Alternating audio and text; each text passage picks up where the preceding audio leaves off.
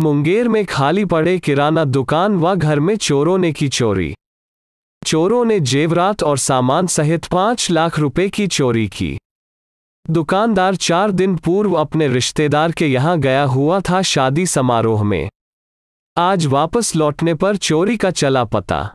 Police मामले की जाँच जुटी।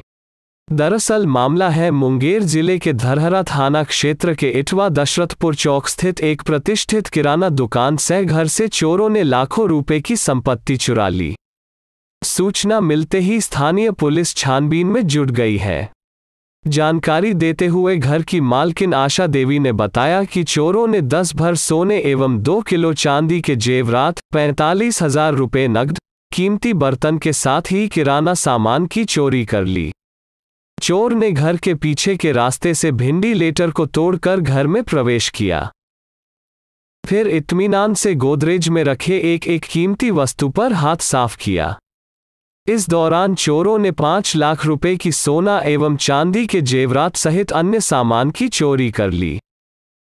जानकारी देते हुए आशा देवी ने बताया कि घर के सभी सदस्य बीते 24 मई को बेगूसराय शादी समारोह में शामिल होने गए थे।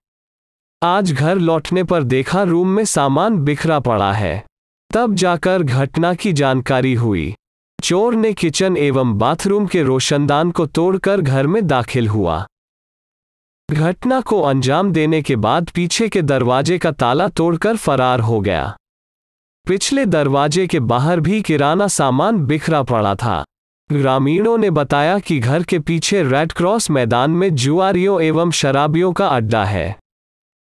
जिसके कारण क्षेत्र में अक्सर अपराधी आपराधिक घटनाओं को अंजाम देते रहते हैं। लोग रात्रि की बात तो दूर दिन में उधर जाने से परहेज करते हैं। वहीं थानाध्यक्ष रोहित कुमार सिंह ने बताया घटना की सूचना मिली पुलिस मामले की छानबीन कर रही है।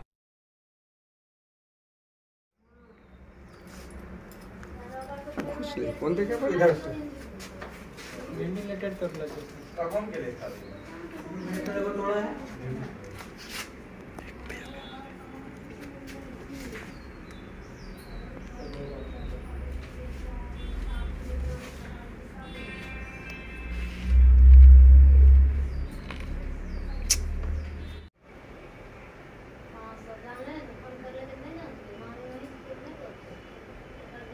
इधर घुसला किधर? पीछे से दो वेंटिलेटर तोड़ा है।